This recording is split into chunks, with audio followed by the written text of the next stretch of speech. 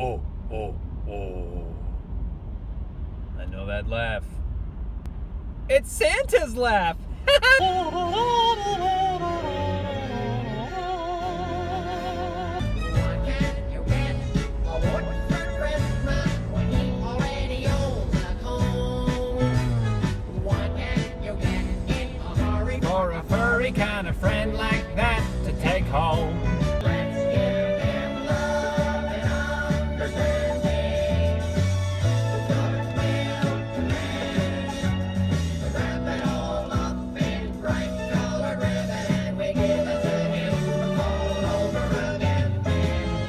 Okay, wait.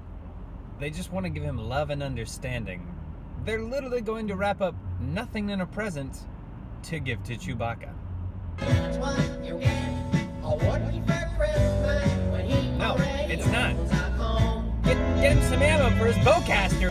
It's like you literally got to the Christmas party and go, oh crap, we forgot to get something for Chewbacca.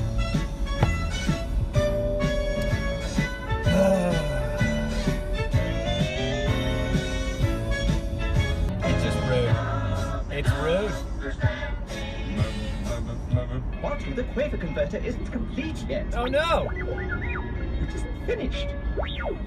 Lock in your circuits again quickly. Well, finish it!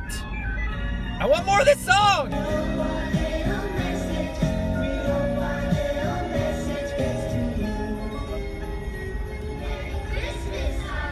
Aw.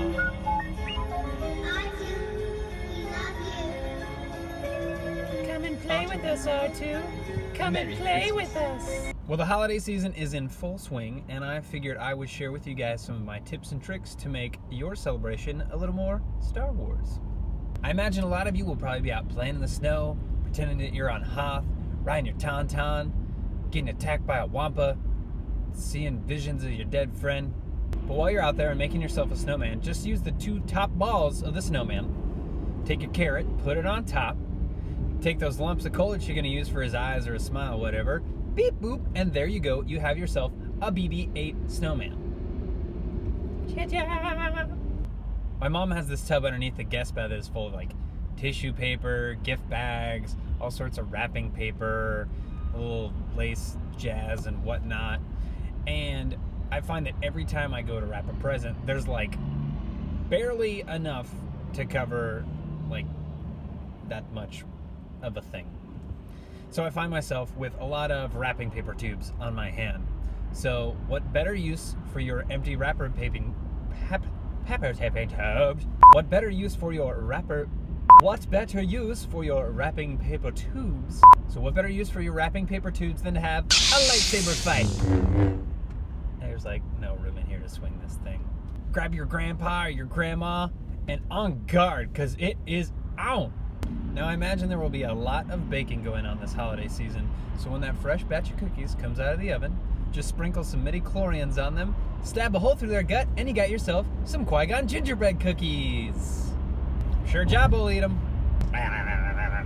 For me, it is officially the holiday season when I take that first sip of eggnog. But Travis, what's Star Wars about eggnog? Well, I'm glad you asked, because if you just put a few drops of blue food coloring in there, you got Bantha nog. That's so good. Now I know a lot of you are probably very reluctant, but don't be afraid to watch the Star Wars Holiday Special. It's what a good fan would do. For every year that your dad sat you down and made you watch A Wonderful Life, I think it's time that you return the favor. Dash Rendar in the snow on a lone forsaken base. Would you let me over? Or I'll punch you in the face. But really, guys, I think the most Star Wars thing you can do all season long is go see Rogue One. Thank you guys so much for watching. As always, please like and subscribe to videos. Check out new episodes of the Force Cult podcast. If you guys have questions for us on the show or for me here, you know where to send them. Ask at forcecult.com or straight over to me, aka Star Wars Kid.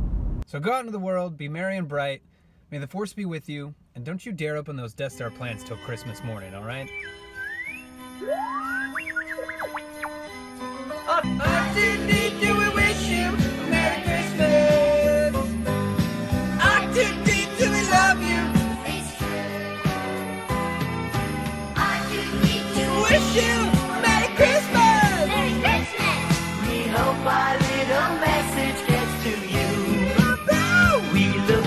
satu.